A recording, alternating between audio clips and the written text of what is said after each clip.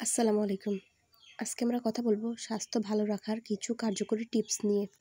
প্রথমত, প্রতিদিন সাত থেকে আট ঘণ্টা ঘুমিয়ে নেওয়া উচিত। ঘুম না হলে শারীরিক ও মানসিক দুটোই ক্ষতিগ্রস্ত হতে পারে।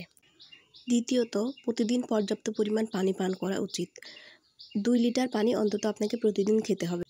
তৃতীয়ত আপনাকে স্বাস্থ্যকর খাবার খেতে হবে। যেরকম আপনার খাদ্য তালিকায় প্রতিদিন ফল, মূল, কাঁচা সবজি ইত্যাদি ইত্যাদি প্রতিদিন আপনাকে রাখতে হবে। তো আপনি সুস্থ থাকবেন। সাথে সাথে প্রোটিন ও ফাইবার আছে সেই রকম খাবারও আপনার তালিকায় প্রতিদিন রাখতে হবে। চতুর্থ প্রতিদিন আপনি ফজরের নামাজের পর কিছুটা সময় নিজের জন্য নিয়ে নিন। যে সময়টা আপনি নিজের এক্সারসাইজে ব্যস্ত থাকবেন। শরীরচর্চার মাধ্যমে আমাদের শরীর ও মানসিকভাবে আমরা বিভিন্নভাবে সুস্থ থাকি।